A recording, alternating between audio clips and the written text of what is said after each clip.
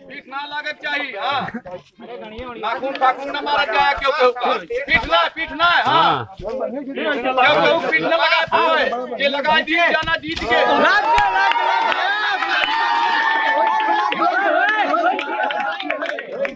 लाग जा